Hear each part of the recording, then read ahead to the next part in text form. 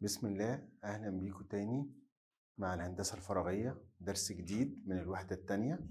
إحنا خلصنا معادلة المستوى وكانت معادلة مهمة جدا وهنستخدمها النهاردة كتير وتطبيقات عليها كتير قوي مع المستوى. النهاردة هناخد درس جديد اسمه معادلة المستوى في الفراغ.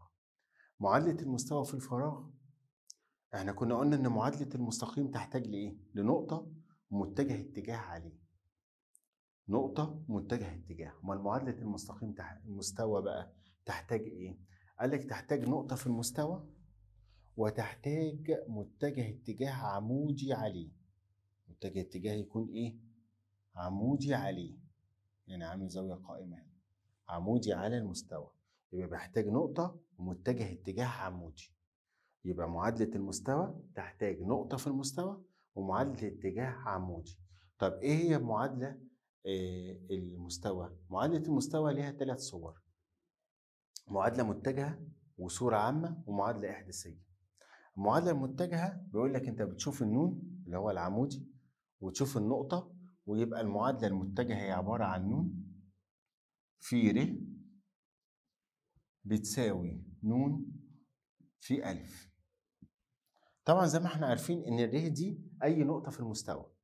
الر أي نقطة في المستوى. يعني ده متجه اتجاه عمودي على المستوى. الر أي نقطة في المستوى. والنون متجه اتجاه العمودي. طب وألف؟ وألف دي نقطة معلومة. يعني هنا الراء أي نقطة في المستوى اللي هي س وصاد وعين وبنعوضش عنها. أما ألف نقطة معلومة في المستوى تكون في المستوى. يبقى المعادلة المتجهة هي نون في ر بيساوي نون في ألف. دي المعادلة المتجهة. طيب المعادلة المتجهة أقدر أجيب منها الصورة العامة والصورة الإحداثية. طب إزاي يا أستاذ؟ شوف يا سيدي.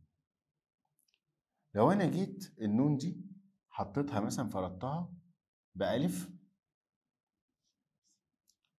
وب وج في الراء اللي هي س وصاد وعين بتساوي الألف والب والجيم في الألف بقى اللي هي النقطة المعلومة هنقول مثلا إن هي دلوقتي س واحد وصاد واحد وعين واحد. يبقى كده لما أضرب دول هيبقى يديني ألف س زائد ب صاد زائد ج عين ولما اضرب دول هيبقى ألف في س واحد ب في صاد واحد ج في عين واحد هيديني رقم. فالرقم ده خلينا نسميه د يبقى الصورة العامة هتكون ألف س زائد ب ص زائد ج عين بتساوي د أو ناقص د يساوي صفر أو ناقص د يساوي صفر. يعني نقدر نكتبها ألف س زائد ب ص زائد ج عين ناقص د يساوي صفر. دي كده اسمها الصورة العامة. الصورة العامة. ويبقى الصورة العامة معاملات السين والصاد والعين هو متجه الاتجاه العمودي العمودي على المستوى. والدال هي ناتج ضرب المتجه العمودي في نقطة في المستوى. لكن الم... أقدر أطلع من هنا متجه الاتجاه الأصلي اللي اتعمل بيه الخط.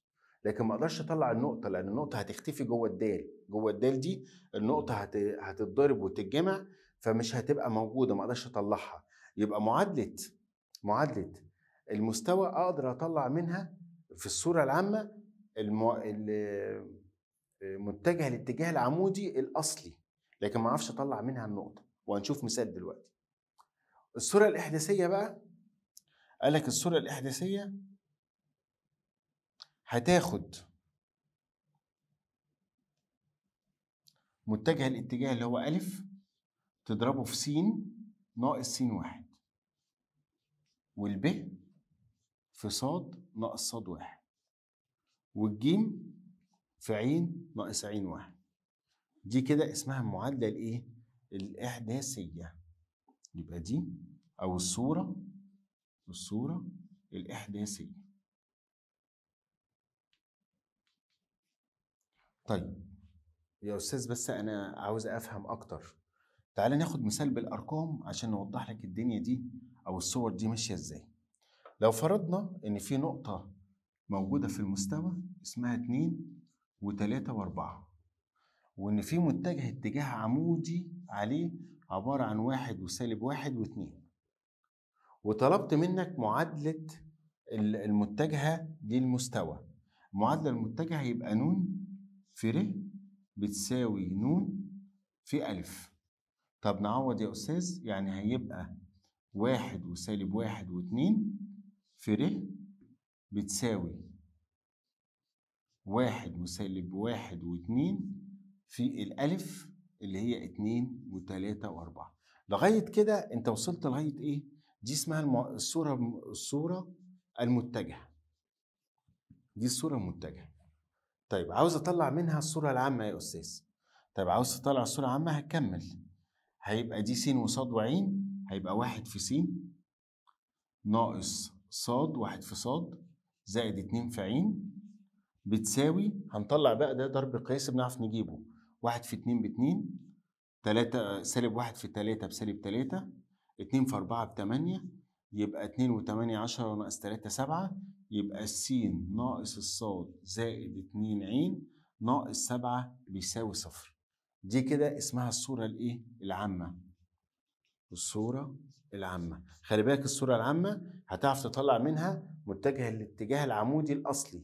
هيبقى واحد وسالب واحد واتنين لكن مش هعرف أطلع منها النقطة اللي اتعملت بيها. مش زي معادلة الخط المستقيم. كنت بعرف أطلع النقطة وأطلع متجه الاتجاه. هنا ما أقدرش أطلع النقطة الأصلية اللي اتعمل بيها. طيب كمان أعرف أطلع المعادلة الإحداثية؟ أه. هتيجي بقى هنا هتقول واحد واحد في س ناقص س النقطة اتنين. وبعدين سالب واحد في صاد ناقص صاد النقطة تلاتة. زائد اتنين في عين ناقص عين النقطة اللي هي أربعة بتساوي صفر. دي كده الصورة الإحداثية الصورة الإحداثية. يبقى تاني نقول بقى معادلة المستوى بتيجي إزاي؟ بص معايا معادلة المستوى عشان نقدر نعملها لازم يكون عندي نقطة في المستوى ومتجه اتجاه عمودي على المستوى نقطة ومتجه اتجاه العمودي. ليها كم صورة؟ ثلاث صور. الصورة المتجهة الصورة العامة الصورة الإحداثية. الصورة المتجهة نون اللي هو المتجه اتجاه العمودي في راء بيساوي نون في ألف. والصورة العامة بتيجي من الصورة الإحداثية. بنضرب ده في ده ضرب اتجاهي ضرب قياسي أهو هيبقى ألف س زائد ب ص زائد ج ناقص د يساوي صفر. ثم الصورة الإحداثية هيبقى ألف في س ناقص س النقطة زائد ب في ص ناقص ص النقطة زائد ج في عين ناقص عين النقطة يديني الصورة الإحداثية. وأخدنا مثال بالأرقام على كده. طيب تعالى بقى نشوف إزاي نقدر نطلع متجه الاتجاه العمودي ده وبأنهي طريقة. بص معايا. عشان أعرف إزاي أطلع متجه الاتجاه العمودي وأطلع معادلة المستوى فهو دايما لازم أكون عارف إزاي المستوى بيتعين. يعني إزاي أعرف إن ده المستوى بتاعي. طرق تعيين المستوى. هي اللي بيجي عليها الأسئلة. فتعيين المستوى يعين المستوى بثلاث نقط. طيب يعني بثلاث نقط يعني إيه؟ يعني هيديك نقطة ألف ونقطة ب ونقطة ج. طب لما هيديني يا أستاذ ثلاث نقط إزاي أنا هطلع متجه الاتجاه العمودي مع النقطة موجودة. إحنا قلنا معادلة المستوى محتاجة حاجتين محتاجة النقطة ومتجه اتجاه عمودي. فالنقطة هتاخد أي واحدة فيهم. طب العمودي هتجيبه إزاي؟ نفتكر بقى مع بعض. المفروض هنا ده بيبقى به ألف متجه وده به ج متجه وقلنا عشان تجيب العمودي على المستوى بتضربهم في بعض ضرب اتجاهي. فايدة بقى الضرب الاتجاهي. الضرب الاتجاهي بيدي مستقيم أو متجه اتجاه عمودي على المستوى اللي فيه المتجهين أو الخطين. يبقى هنا عشان أجيب النون بجيب ب ألف وأجيب ب ج وأضربهم في بعض ضرب اتجاهي. يبقى هنا النون النون هتساوي ب ألف ضرب اتجاهي ب ج طب وهضربهم إزاي يا أستاذ؟ اولا أنت هتجيب ب ألف وب ج سهلة جدا. هتقول ألف ناقص ب ألف ناقص ب وهتقول ج ناقص ب هيطلع لك هنا زوج وهنا زوج. الضرب الضرب اللي هو الاتجاهي كان عن طريق المحدد هيبقى س ص ع وبتكتب آه، مساقط الب الف والب ج الاحداثيات بتاعتها السين والصاد والعين السين والصاد والعين وتطلع هنا متجه يعني هيطلع لك زوج فيه ثلاثة بعد كده تقدر تجيب انت المعادلة المتجهة اللي هي هتبقى عبارة عن نون في ر تساوي نون في ألف طبعا ممكن آخد ألف ممكن آخد ب ممكن آخد ج آخد أي نقطة. ولكن في قانون قال لك ممكن تجيب معادلة المستوى من غير ما تعمل الكلام ده كله بيقول لك المحدد ده يقدر يجيب معادلة أي مستوى أنت عاوزه بأي طريقة. س وصاد وعين دول ثابتين. فبتيجي تطرح منهم النقطة الأولى اللي هي ألف س واحد صاد واحد عين واحد. وبعدين س اتنين ناقص س واحد صاد اتنين ناقص صاد واحد عين اتنين ناقص عين واحد. س تلاتة ناقص س واحد عين صاد تلاتة ناقص صاد واحد عين تلاتة ناقص عين واحد. يعني انت هتثبت النقطة الأولى ولتكن مثلا الألف اتنين وخمسة وتلاتة يبقى هنا هيبقى كلها اتنين هنا هيبقى كلها خمسة هنا هيبقى كلها تلاتة. السين والصاد والعين ما بتعوضش عنهم السين اتنين اللي هي بتاعت الب هيبقى واحد وسالب واحد والتانية هتبقى إيه؟ واحد. طيب والسين تلاتة هتحط واحد وصفر وسالب اتنين وطبعا تكون حاطط بتوع بتوع النقطة الأولى. يبقى كده مش هيبقى مجهول غير السين والصاد والعين بتبدأ تفك المحدد وبعدين تساويه بالصفر يطلع لك المعادلة بتاعتك. طيب عشان أفهم مش فاهم يا أستاذ أوجد معادلة المستوى المار بالنقطة بالنقط ألف وب وج يبقى أنا هجيب ألف ب بسم الله. هجيب ألف ب اللي هي ب ناقص ألف. ب ناقص ألف وطبعا كان ممكن استخدم القانون اللي فوق ده عادي. طبعا حسب رغبتك انت تقدر تحل. الرياضة مش واقفة على طريقة واحدة. إحنا بالنسبة لنا هنتدرب على الطريقة ديت لأن فيها تداخل في كذا حاجة يعني ضرب اتجاهي ومتجهات ومتجه عمودي فنقدر نتدرب في الهندسة كلها. لكن ممكن أستخدم معود نفسي على الأولاني ده المحدد ده أعوض فيه على طول أطلع النواتج ألف ب ناقص ب ألف هيبقى واحد واثنين وأربعة ناقص واحد وتلاتة وخمسة. هيطلع معايا واحد ناقص واحد صفر اتنين ناقص تلاتة سالب واحد أربعة ناقص خمسة سالب واحد. وبعدين هجيب ألف جيم ألف جيم يا أستاذ هتبقى جيم ناقص ألف. الجيم عندي هتبقى أربعة وأربعة وصفر ناقص الألف هيبقى برضو واحد وتلاتة وخمسة يعني أربعة ناقص واحد تلاتة أربعة ناقص تلاتة واحد صفر ناقص خمسة سالب خمسة. بعد كده هجيب متجه الاتجاه العمودي اللي هو ألف ب في ألف ج هيبقى هنا س صاد عين وبعدين هحط آه، بتوع ألف ب اللي هو صفر سالب واحد سالب واحد وبعدين هحط بتوع الألف ج اللي هو هيبقى تلاتة وواحد وسالب خمسة. وإحنا اتفقنا لما بنيجي نضرب دول بنثبت عمود وصف ونضرب. وما تنساش إن الصاد هنا بنغير إشارة. اوعى تنسى الصاد بتغير إشارة. هتضربهم أنت بقى أنت بقيت شاطر تعرف تضرب. الضرب الاتجاه هيطلع 6 وسالب 13 وواحد. كده أقدر أجيب المعادلة بتاعة الخط. طب أنا هجيبها إزاي؟ خلاص معايا النون هيبقى نون في ر بيساوي نون في ألف. والألف دي أي نقطة من التلاتة. طيب النون أنا جبتها هيبقى ستة وسالب تلاتاشر وواحد. في ر بتساوي ستة وسالب تلاتاشر وواحد في الألف واحد وتلاتة وخمسة. دي كده الصورة المتجهة. عاوز تجيب الإحداثية يبقى لازم هتضرب دول وكمل حل. يعني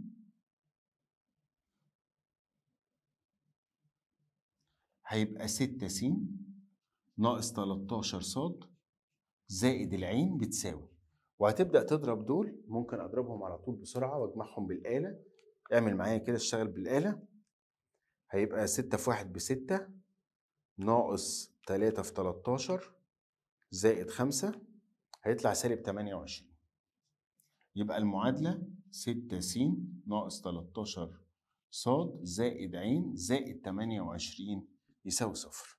يبقى ده لو عندي ثلاث نقط أقدر أجيب معادلة المستوى إن أنا أكون متجهين أ ب وأ ج أضربهم في بعض ضرب اتجاهي يديك المتجه العمودي وعن طريق أي نقطة من الثلاثة تقدر إن أنت تكون معادلة متجهة وتجيب الصورة الإيه؟ العامة. ده كان الجزء الأولاني اللي هو إزاي أجيب معادلة المستوى لو إداني ثلاث نقط. طيب افرض يا أستاذ إداني مستقيمان متقاطعين. ماشي اداك مستقيمان متقاطعين يبقى أكيد ر لام واحد ده عليه نقطة وعليه متجه اتجاه. وأكيد لام اتنين عليه نقطة ب وعليه متجه اتجاه طيب ما لو ضربت ه واحد في ه اتنين ضرب اتجاهي يعني لو قلت ه واحد ضرب اتجاه ه اتنين ما هيديني النون يا أستاذ لأن هيديني عمودي على المستوى هيديني النون وعن طريق النون وأي نقطة سواء الألف أو الب أجيب معادلة الخط. طيب عاوز أفهم يا أستاذ. بيقول لك ر واحد وادي ر اتنين اثبت أنهما متقاطعان وأوجد المستوى معادلة المستوى. آه اثبات أنهم متقاطعان ده فاكر فاكر درس اوضاع مستقيمين؟ وقلنا إزاي نثبت أنهم متقاطعان؟ بنثبت ان بنجيب ر واحد يساوي ر اتنين ونجيب كم معادلة؟ نجيب ثلاث معادلات نحل معادلتين ونعوض في الثالثه لو طلعت تحققها يبقى متقاطعين. طب لو ما طلعتش يبقى متخالفين. أنا هسيبك أنت تكمل تثبت المطلوب الأولاني اثبت إنهم متقاطعين. هتساوي لي ر واحد بر اتنين وتثبت إنهم متقاطعين. دي سهلة بالنسبة لنا. واللي مش فاكرها يراجع الفيديو اللي فات بتاع أوضاع مستقيمين. طيب وأوجد معادلة المستوى. معادلة المستوى يبقى لازم أطلع ه واحد وه اتنين. طيب خلينا بقى نشيل ده. خلاص أنا هسيبك أنت تكمل ده ولو في مشكلة ابعت لنا في ملاحظاتك على الفيديو. لو في أي مشكلة عندك نقدر نكمل لك الحل. طيب تعالى بقى عاوز أطلع يا أستاذ ه واحد. ه واحد يا أستاذ هيبقى اتنين وتلاتة وواحد. طيب وه اتنين بتاعت المستقيم التاني واحد وواحد واتنين. طب المفروض أعمل إيه؟ المفروض اضربهم في بعض ضرب اتجاهي عشان أجيب النون. فبكتب س وصاد وعين هنا اتنين وتلاتة وواحد واحد وواحد اتنين. اوعى بس تنسى اوعى تنسى ان إزاي بنضرب أو إزاي بنخلص المتجه ده.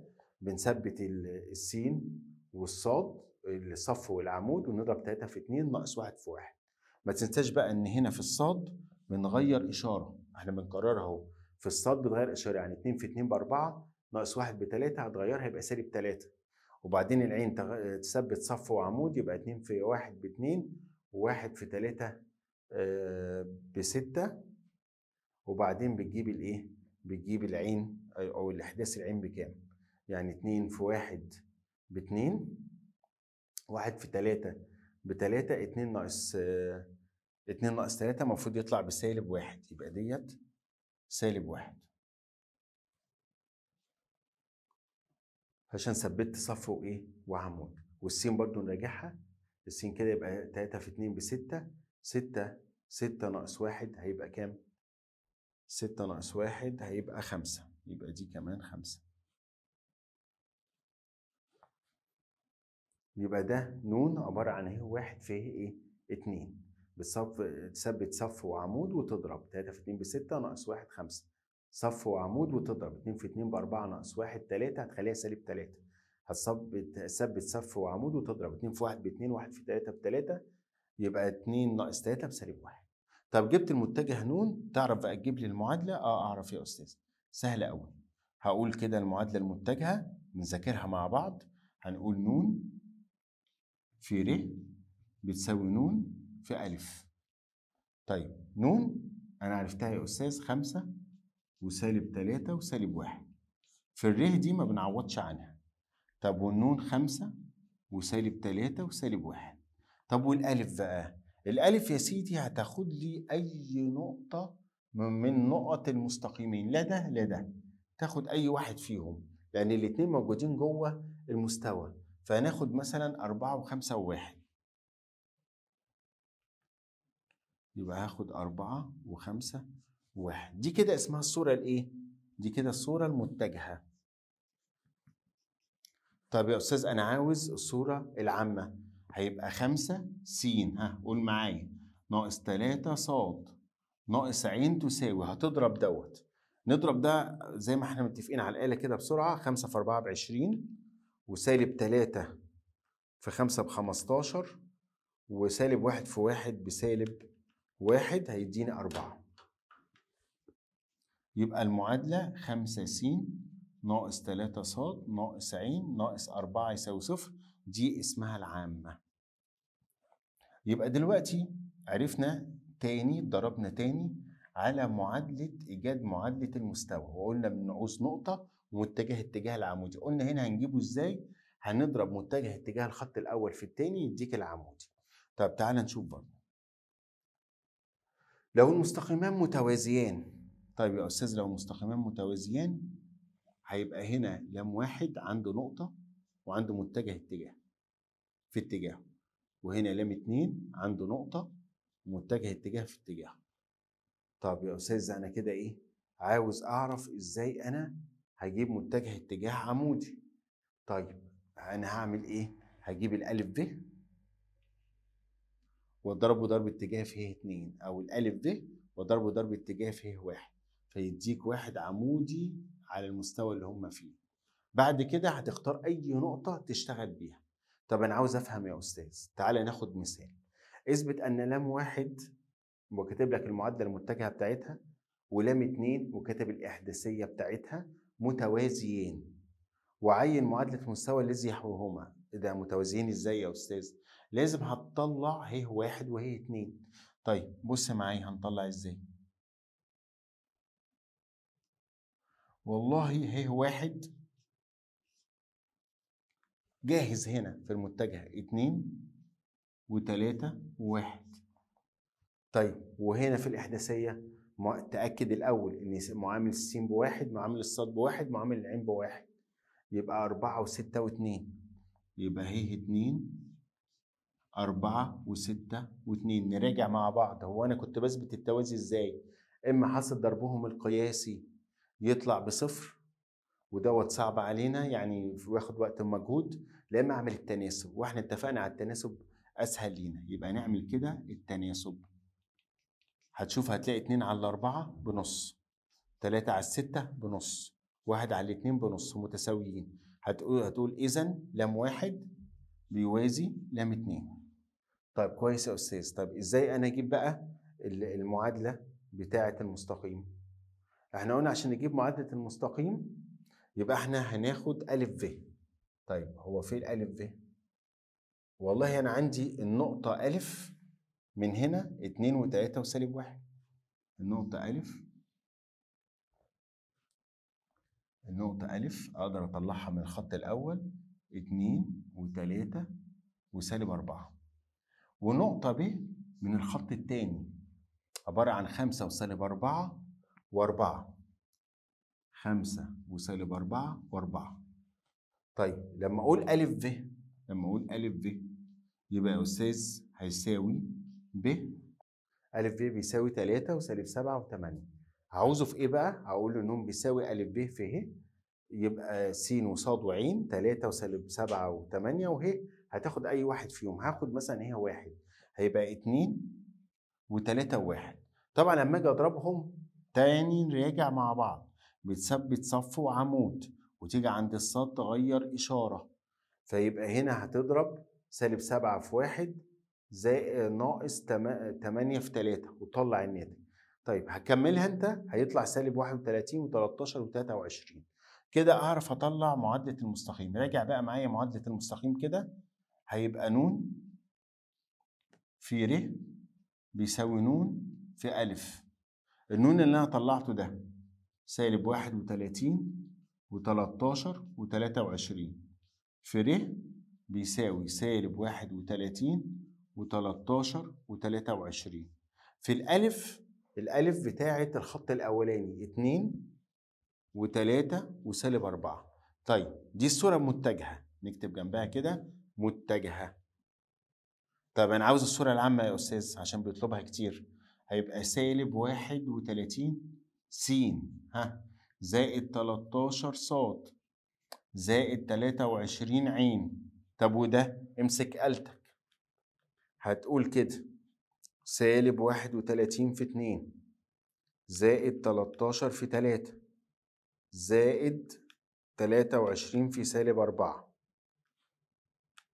يطلع سالب 115 هتجيبهم الناحية التانية؟ أو تسيبها زي ما هي مفيش مشكلة. ممكن تجيبها الناحية التانية بالموجب أو تسيبها زي ما هي. طيب يبقى أنا كده عرفت إزاي أجيب معادلة المستوى؟ لو المستقيمين متوازيين وخد بالك إن كل دي أفكار مسائل. يعني أنا بحل معاك بقول الأوضاع وبناخد فكرة المثال أو فكرة المسألة. فلو مستقيمين متوازيين هتاخد نقطة من هنا ونقطة من هنا يجيب منهم متجه اتجاه تضربه فيه اتنين أو فيه واحد يديك النون. بعد ما هيديك النون هتقدر تجيب معادلة متجهة بأي نقطة فيهم بعد كده. طيب مستقيم ونقطة لا تنتمي إليه مستقيم لما هيجي يديهولك لام هيديك نقطة عليه ومتجه اتجاه وهو هيديك كمان نقطة في المستقيم في المستوى. طب لما هيديها لك هنعمل إيه يا أستاذ؟ شوف يا سيدي هتجيب ألف ف متجه. اللي هو ب ناقص ألف. وتضربه ضرب اتجاهي في ه واحد. هيديك إيه؟ اللي هو متجه اتجاه الخط اللي هيبقى جايبه لك. هيديك نون اللي هو متجه الاتجاه العمودي على المستوى. طب اداهولي؟ آه أقدر أجيب بعد كده معادلة المستوى. هيبقى نون في ر اللي هكون طلعتها. هيساوي نون في ألف. ألف دي إما النقطة بتاعت الخط أو النقطة اللي هو مديها لي وأبتدي أطلع الصور بتاعتها. تمام؟ أوجد معادلة المستوى. طب معلش تعالى كده اللي فاتت. عرفنا فكرتها. طيب تعالى بقى. أوجد معادلة المستوى الذي يحوي لام واحد والمستوى يوازي لام اتنين. مستوى يوازي لام اتنين. طيب نراجع مع بعض. لام واحد بيبقى عليه نقطة وعليه متجه اتجاه. لام اتنين بيبقى عليه نقطة ومتجه اتجاه. طيب ده بيوازي دوت. يبقى عشان أجيب النون هضرب ه واحد في ه اتنين ضرب اتجاهي. هيديني عمودي على المستوى اللي هما فيه. يعني النون هتبقى ه واحد في ه اتنين. هديك مستوى أو هيديك متجه اتجاه عمودي على لم على ه واحد وه اتنين في نفس الوقت. وهتاخد انهي نقطة بقى؟ مش ألف أو ب هتاخد الألف. يعني هنا لازم آخد دي ما ينفعش آخد الب لأنها خارج المستوى. وتبقى المعادلة نون في ر تساوي نون في ألف وما ينفعش تاخد ب. لا يصلح إن أنت تاخد ب لأنها لا تنتمي للمستوى. دي برضو فكرة سؤال وأظن كده الموضوع تعرف وبقى سهل. معادلة المستوى بمعلومية نقط تقاطعه مع محاوره. عشان نعرف نقطة تقاطع مع المحاور قال لك لازم المعادلة تكون على صورة س على س واحد وده رقم ص على ص واحد عين على عين واحد يساوي واحد. طيب إيه يا أستاذ السين واحد دي؟ قال لك السين واحد دي هو التقاطع مع محور السينات. طب ودوت نقطة التقاطع مع الصادات. طب وديت نقطة التقاطع مع العينات. يعني كم يا أستاذ؟ يعني دي تديني النقطة ألف س واحد وصفر وصفر. طب ودي؟ النقطة باء صفر وصاد واحد وصفر. طب وديت النقطة جيم صفر وصفر وعين واحد. طب لو حبيت أشوفهم على الرسمة هيديك هنا الألف هتبقى هنا النقطة س واحد وهنا الب إحداثيها الصادي صاد واحد وهنا الجيم عين واحد. لو حبيت بقى أبص كده ألاقيني لو وصلت أولا دي واو لو وصلت كده هيديك مثلث الأحمر ده اللي أنا رسمه المثلث ده. طب المثلث ده أنا عاوز أجيب مساحته؟ أقدر أجيب مساحته بكذا طريقة. ممكن بطريقة المحددات اللي هو هكتب آه، هكتب دول تحت بعض وأضربهم بالمحدد بتاع أولى ثانوي. لا إما عاوز بقى أحلها بمنهجي مش عاوز أرجع يا أستاذ لأولى ولا تانية ولا كده. طيب كان هنا أقدر أجيب متجه اللي هو ا ب مثلا وأقدر أجيب ا ج. هيبقى مساحة المثلث كنا بنقول في الضرب الاتجاهي إن الضرب الاتجاهي بيساوي ضعف ضعف مساحة المثلث. اللي فيه المتجهين المضروبين أضلاع في المثلث متجاورة. طيب لو أنا عاوز أجيب الضرب الاتجاهي يبقى نص مساحة المثلث. نص مساحة المثلث. والقانون ده مهم قوي عشان نحتاجه بعد كده في الاستاتيكا في العزوم. لما أحب أجيب مساحة مثلث هيبقى أضرب ضرب اتجاهي متجهين متجاورين على ضلعين واجيب نصهم. أقدر أجيب مساحة الإيه؟ المثلث. طيب وكمان قال لك لما تبص كويس هتلاقي المثلث ده فيه راس ورا الراس دي واو واو دي ورا. فقال لك ده بيعمل مجسم اللي هو الهرم. هرم واقف دي القاعدة. لو بصينا كويس دي القاعدة. هنا الواو أهي وادي الراس بتاعته. أو الرأس بتاعته تكون ورا وتكون القاعدة ثلاثية يعني كده ثلاثية ودي لو قاعدة تبقى ثلاثية.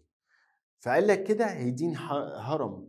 فساعات يطلب حجم المجسم حجم الهرم ده. طيب حجم الهرم أنا مش فاكره يا أستاذ. ماشي نقوله لك.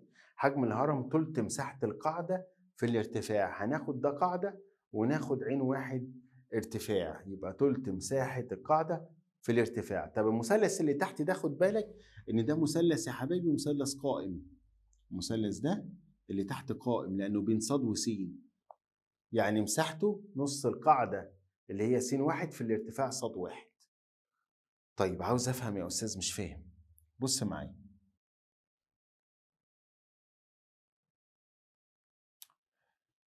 لو قلنا عندي معادلة أو عندي مستوى بيقطع في ألف في ألف وب وجيم وكان ده عبارة عن أربعة وصفر وصفر. وده عبارة عن ست صفر وستة وصفر. وده عبارة عن صفر وصفر واتنين. فأنا لو عاوز أجيب مساحة المثلث اللي هو أ ب ج ده يبقى لازم أجيب أ ب وأ ج أو أي متجهين متجاورين. فأ ب هتبقى ب ناقص أ يعني هيبقى صفر وستة وصفر ناقص الألف أربعة وصفر وصفر. يعني هيديني سالب أربعة وستة وصفر. وهجيب ألف جيم اللي هو هيساوي جيم ناقص ألف. طيب الجيم عندي صفر وصفر واتنين ناقص الألف أربعة وصفر وصفر. هيطلع عندي أربعة سالب أربعة وصفر واتنين. طب بعد كده يبقى مساحة المثلث اللي اسمه أ ب ج هيساوي نص معيار أ ب ضرب اتجاهي أ ج وإحنا عارفين طبعا ضرب اتجاهي ده بيجي عن طريق الإيه المحدد يعني لو حبيت إن أنا أراجع كده هيبقى نص وهعمل محدد وهكتب هنا س وصاد وعين وهكتب بقى الألف ب الأول سالب أربعة وستة وصفر وهكتب الألف ج سالب أربعة وصفر واتنين وبعدين أطلع أنا الإيه؟ أطلع الناتج بتاعي وطبعا لو طلع بالسالب طبعا مش هيطلع بالسالب لأن أنت هتجيب بعد كده معيار معيار الكلام ده كله. طبعا الفك بتاعه نفتكر برضو زي ما بنقول ثبت الصف والعمود وثبت الصف والعمود بس خلي بالك إن الصاد دي بتبقى سالبة. الصاد دي بتبقى سالبة. وبعد ما هطلعها هطلع المعيار وأجيب نصه يديني مساحة الإيه؟ المثلث. طيب لو أنا عاوز الهرم بقى. الهرم قال لك هتعتبر دي قاعدة. يبقى حجم الهرم هيساوي تلت في مساحة المثلث اللي تحت ده نص القاعدة في الارتفاع يبقى نص أربعة في ستة. في الارتفاع بتاع الهرم اللي طالع كده اللي هو اتنين. وتحسبها برضو وتطلع حجم الإيه؟ حجم الهرم. هو ما بيقولكش هرم على فكرة هو بيقول لك حجم المجسم الناتج. عشان نفهمها قوي برضو عشان مسألة مهمة بص معايا. أوجد نقط تقاطع المستوى مع المحاور الثلاث. ثم أوجد مساحة المثلث الناتج من تقاطع من نقطة التقاطع وحجم المجسم الناتج من نقطة تقاطع الأصل ونقطة ونقطة التقاطع. بص معايا. هناخد معادلة المستوى اتنين س زائد تلاتة ص زائد ستة عين يساوي اتناشر. عشان أعرف أجيب نقط تقاطع مع المحاور لازم يكون هنا واحد فأنا هقسم المعادلة كلها على الاتناشر يبقى س اتنين على الاتناشر بستة وهنا تلاتة ص على الاتناشر يبقى ص على الأربعة وهنا آه، ستة عين على الاتناشر يبقى عين على الاتنين واتناشر على اتناشر بواحد. كده جاهزة. كده أعرف أطلع نقط التقاطع مع المحاور. طيب تعالى عشان نشوفها على الرسمة.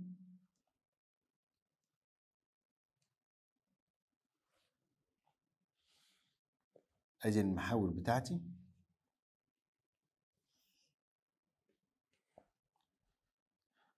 بسم الله. هيبقى عندي النقطة ألف على السينات أحدثها كام يا أستاذ؟ هيبقى ستة. وصفر وصفر. وهنا على الصادات هنسميها النقطة ب هيبقى صفر وأربعة وصفر. طب وعلى العينات هناخد اللي تحت العينات هيبقى هنا صفر وصفر وعين و... و... واتنين. صفر وصفر واتنين. ده طبعا العينات وده الصادات وده السينات. طيب طلعت نقطة التقاطع ده كان أول مطلوب. بيقول لك أوجد نقطة تقاطع الثلاث جبناها. بعد كده عاوز مساحة المثلث الناتج من نقط التقاطع. طيب عاوز مساحة المثلث؟ حاضر يا أستاذ. يبقى أنا هوصل المثلث أهو. أدي المثلث بتاعي. دي نقطة الأصل واو. طب المثلث ده عشان أجيب مساحته اتفقنا نعمل إيه؟ هنجيب ألف ب وهنجيب ألف ج سمي دي ج طيب حاضر يا أستاذ. يبقى هنجيب يبقى خلاص نقطة نقطة التقاطع مع المحاور جبناها. هنجيب بقى ألف ب. ودي يا أستاذ ب ناقص ألف. الب عندي هتبقى صفر وأربعة وصفر. ناقص الألف ستة وصفر وصفر. يبقى سالب ستة وأربعة وصفر. أدي ألف ب. طيب وفي بعد كده ألف جيم. ألف جيم يا أستاذ هتبقى جيم ناقص ألف. الجيم عندي هتبقى صفر وصفر واتنين. ناقص الألف ناقص الألف اللي هي ستة وصفر وصفر. طيب هيطلع لي إيه بقى؟ صفر ناقص ستة يبقى سالب ستة وصفر واتنين. كده طلعت ألف ب وألف ج. أعرف أجيب مساحة المثلث؟ أيوة يا أستاذ أعرف أجيبها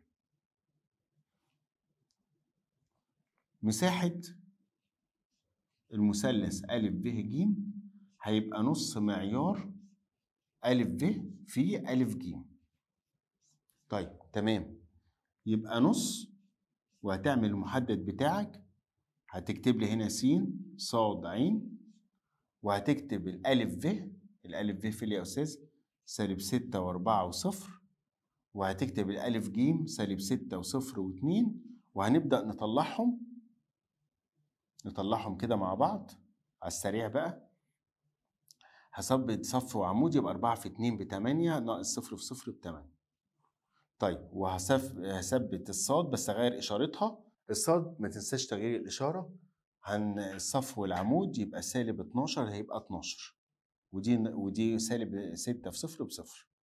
طيب والعين؟ هنثبت صف وعمود يبقى سالب 6 في صفر بصفر وكده هيديني سالب 6 في 4 بسالب 24 وفي سالب يبقى 24 طيب المفروض بقى أنا هجيب نص المعيار بتاعها. خلي بالك هجيب نص المعيار. طب نص المعيار يعني إيه يا أستاذ؟ يعني نص جذر 8 تربيع زائد 12 تربيع زائد 24 تربيع. طيب معانا آلتنا؟ مفيش مشكلة خالص. هيبقى جذر 8 تربيع زائد 12 تربيع زائد 24 تربيع. هيطلع 28 يبقى نص في 28 هيطلع 14 يبقى مساحة المثلث 14 وحدة مربعة. طيب لسه ما خلص؟ عاوز بقى مساحة المجسم الناتج عن النقط دي. قلنا مساحة المجسم المجسم ده هيبقى هرم. الهرم عشان نجيب مساحته هناخد ده قاعدة هناخد دهيت قاعدة وناخد ده ارتفاع. طيب تعالى نكتب القانون بتاع مساحة الهرم نفتكره. وخلينا بس نصغر شوية كده عشان تبان لنا الرسمة. أهي. مساحة الهرم أو حجم الهرم. هيساوي. تلت مساحة القاعدة في الارتفاع بتاعي. يبقى تلت في مساحة القاعدة إحنا قلنا هناخد ده. ده مثلث. يبقى نص الستة في الأربعة. يبقى نص ستة في أربعة. في الارتفاع عندك كام؟ اتنين. طب يعني هيساوي إيه؟ تلاتة في اتنين بستة تروح مع الستة يبقى اتنين في أربعة بتمانية وحدة مكعبة. يبقى المثال ده مثال مهم جدا.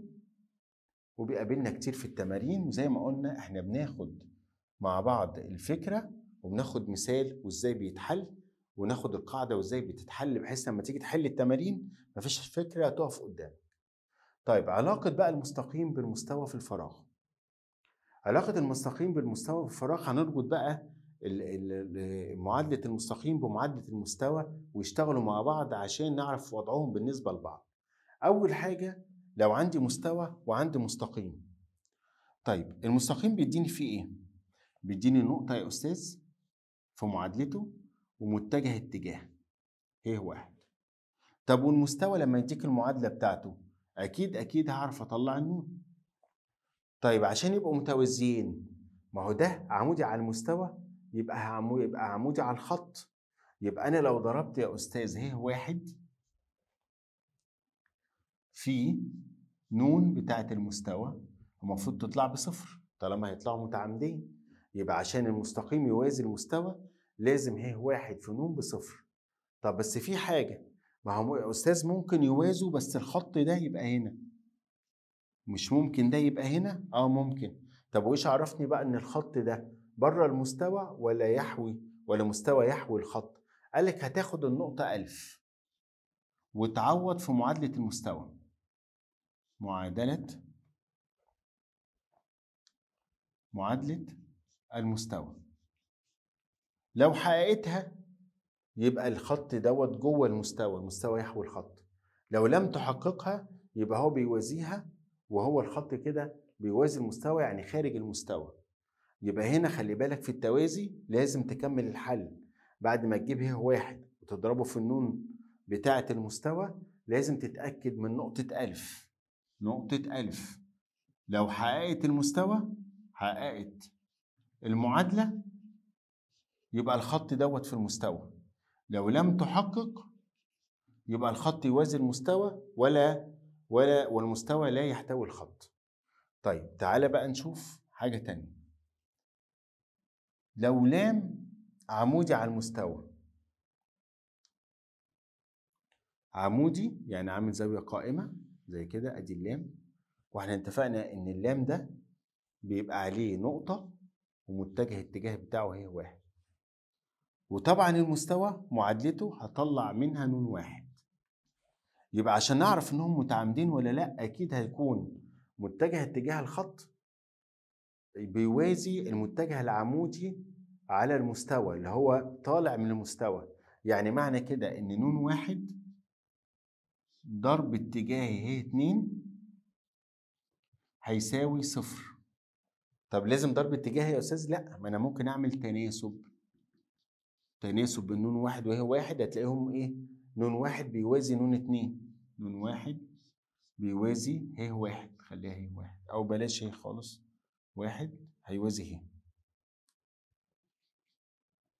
نشيل من هنا واحد على أساس ما فيش اتنين. نون واحد هيوازي ه واحد. يبقى أنت لو لقيت متجهين المتجه بتاع المستوى العمودي عليه بيوازي متجه الخط تعرف إن الاتنين متعامدين إن ده لام عمودي على المستوى. طيب إيه تاني من الأوضاع يا أستاذ؟ إن يكونوا متقاطعين. يعني ولا هو عمودي ولا حاجة متقاطع معاه إزاي يا أستاذ؟ يعني مثلا أدي لام أهو بيقطع المستوى في نقطة. بيقطع المستوى هنا في نقطة. اللام بيبقى عليها نقطة ألف وعليها متجه الاتجاه بتاعها أهي. وطبعا معادله المستوى بيبقى مديها لك. معادله المستوى هتطلع منها النون. طيب إيه الأسئلة اللي بتيجي على متقاطعين دول؟ أول حاجة بيطلب مني الزاوية ما بين الخط والمستوى. سيتا دي هو بيطلبها مني. الزاوية ما بين الخط والمستوى. طب دي أعرف أجيبها يا أستاذ؟ لا ما أعرفش أجيبها. أمال هجيبها أمال هعمل إيه؟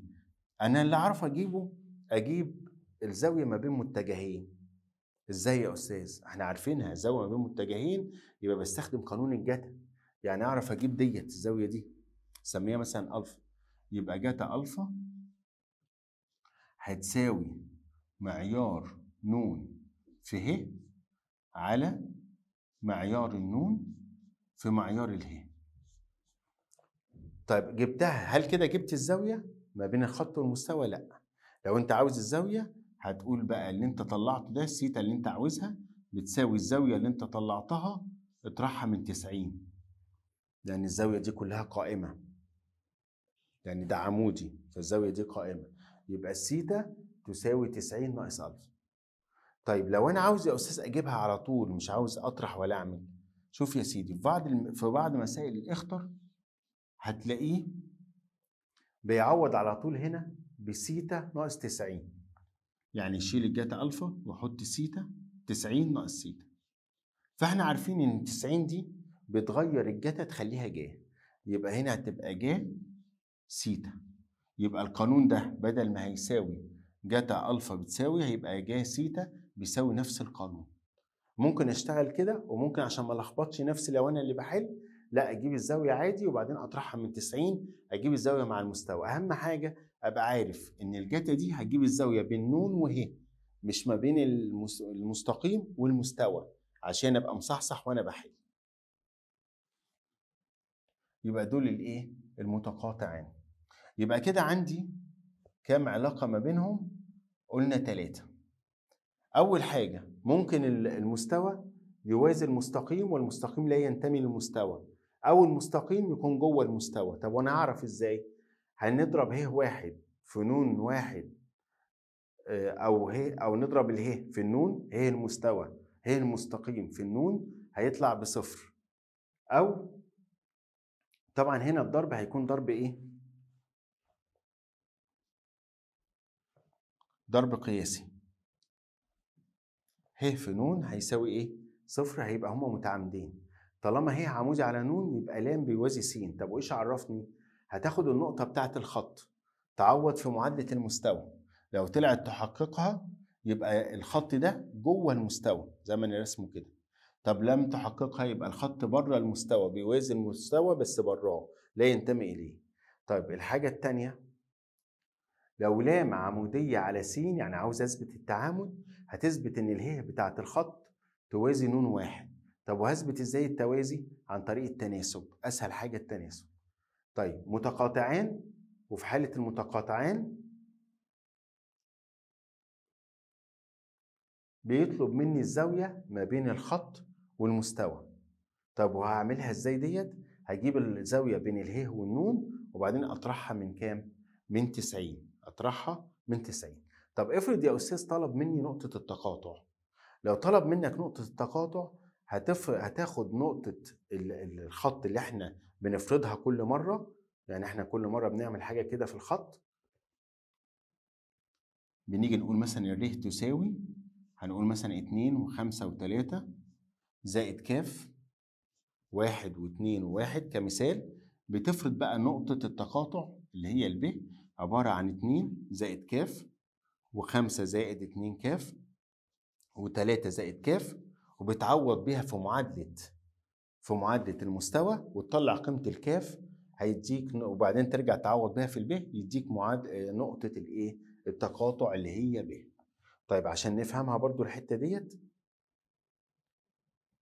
لإيجاد نقطة تقاطع أو نقطة نقطة تقاطع المستقيم على المستوى نوجد نقطة على الخط بدلالة الكاف زي ما قلنا ونعوض في معادلة المستوى. طب عشان أفهمها أوجد نقطة تقاطع المستقيم مع المستوى. تعال نطبقها كده عملي. زي ما قلنا إحنا هناخد النقطة نفرض نقطة التقاطع باء إن هي واحد زائد واحد كاف واتنين زائد واحد كاف وتلاتة ناقص اتنين كاف. تاني نوضحها بنجيبها إزاي؟ واحد زائد اضرب الرقم في الكاف. اتنين زائد اضرب الرقم في الكاف. تلاتة زائد اضرب الرقم في الكاف. هيديك الب طب هعمل إيه؟ هعوض بقى بالب في معادلة المستوى عشان أحصل على إيه؟ على الكاف. طيب نشوف كده. هيبقى واحد اتنين في واحد زائد كاف. زائد اتنين زائد كاف. زائد تلاتة ناقص اتنين كاف. زائد ستة يساوي صفر. اللي ما بيعرفش يحل المعادلات أو متعقد منها عندك نظام الكالك بتحط الكاف دي بإكس وتطلع لك الناتج في ثانية وأنت قاعد. طيب أحلها بقى على إيديا هضرب اتنين زائد اتنين كاف.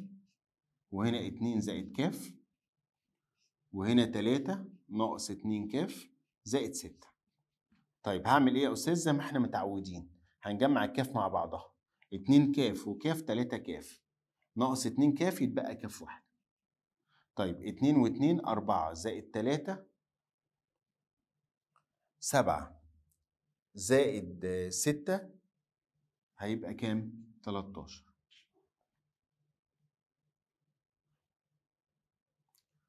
جبنا جبت الكاف يبقى أعرف أجيب نقطة الإيه؟ نقطة التقاطع. يبقى هنقول كده إذا نقطة التقاطع. هنعمل إيه بقى؟ هنيجي عند الب ونعوض بالكاف ب 13 يبقى 1 و13 14 و2 و14 6 و13 يبقى 15 وهنا 2 في 13 ب 26 شيل منهم 3 يبقى سالب 23 يبقى دي نقطة الإيه؟ التقاطع. نقول الخطوات تاني عشان دي برضو من الحاجات المهمة قوي أوجد نقطة التقاطع بين الخط والمستوى. هتفرض الباء من من معادله الخط. واحد زائد زي ما قلنا كده واحد زائد كاف اتنين زائد اتنين زائد كاف تلاتة ناقص اتنين كاف. وتعوض في معادله المستوى. لما هتعوض في معادله المستوى هتجيب لي معادلة هتجيب لي قيمة الكاف. عشان أجيب نقطة التقاطع هترجع تعوض بالكاف في الب يديك نقطة تقاطع الخط مع المستوى من الأفكار المهمة جدا اللي حاول تحل عليها كتير برضه. طيب تدريب بقى. أوجد قياس الزاوية الصغرى بين المستقيم والمستوى. آه هنا بقى عشان فكرة الزاوية ما بينهم ما بين المستقيم والمستوى.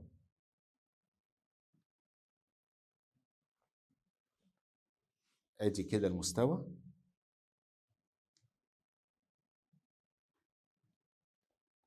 وادي المستقيم.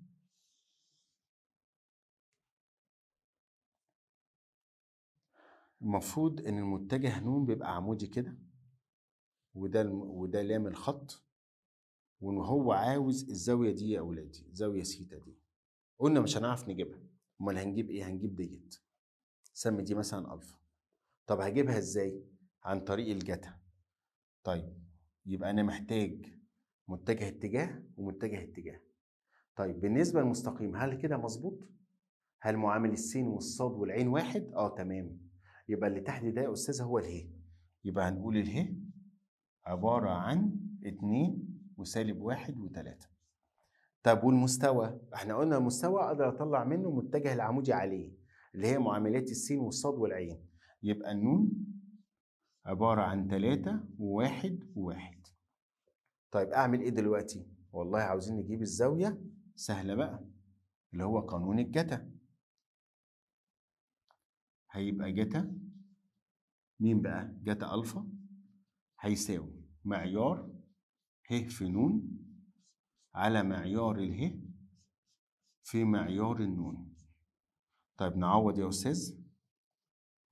هيبقى اتنين وسالب واحد وتلاتة في النون تلاتة وواحد وواحد على معياراتهم. هنربع هيبقى أربعة زائد واحد زائد تسعة وهنا تسعة زائد واحد زائد واحد. طيب وبعدين هنطلع بقى الجاتا سيتا أو الجاتا ألفا الأول. هنضرب اتنين في تلاتة بستة وسالب واحد في واحد بسالب واحد تلاتة في واحد بتلاتة على جذر طبعا هنا في زائد هيبقى كده عشرة أربعتاشر وهنا عشرة يبقى حداشر هيساوي ستة وتلاتة تسعة ناقص واحد تمانية وطبعا بالآلة هيبقى جذر أربعتاشر في جذر حداشر. طيب أنا محتاج إيه دلوقتي يا أستاذ أطلع بقى الزاوية ألفا. هتساوي. هنيجي على الآلة وهنعمل شيفت كوزين. استخدم آلتك معايا. تمانية على جذر حداشر أخرج من الجذر في جذر أربعتاشر.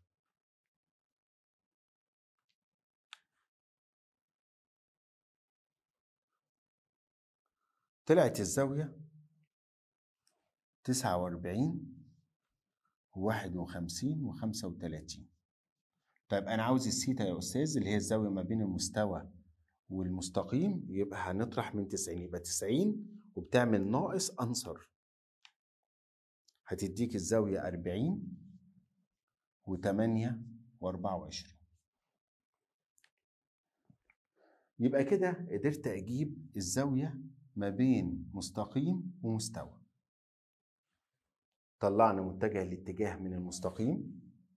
بعد ما اتأكدنا إن معادلة المستقيم صحيحة ومن المستوى وضربناهم فوق وجبنا قانون الجتا وما تنساش إن ده بالنون ولام وعاوز بين لام والمستوى فطلعنا الزاوية وبعد ما طلعناها طرحناها من كام؟ من 90 يعني دي مطروحة من 90 يعني نقدر نقول إن السيتا دي عبارة عن 90 ناقص ألفا كده يبقى خلصنا معادلة المستوى وربطناها وربطناها بمعادلة المستقيم والاتنين كده أصبحوا متفاعلين مع بعض وأصبح اللي بنقوله في الدرس معادلة المستقيم بنحتاجه في معادلة المستوى وعملنا أوضاع بين المستقيم والمستقيم والمستقيم والمستوى. إن شاء الله كده نتقابل مع آخر درس في الهندسة الفراغية وإن شاء الله مش فاضل غير إن إحنا نحل على الوحدة الأولى والوحدة الثانية ونعمل بعد الدرس الجاي إن شاء الله مراجعة على الوحدة الثانية ونشوفكم على خير وبالتوفيق إن شاء الله.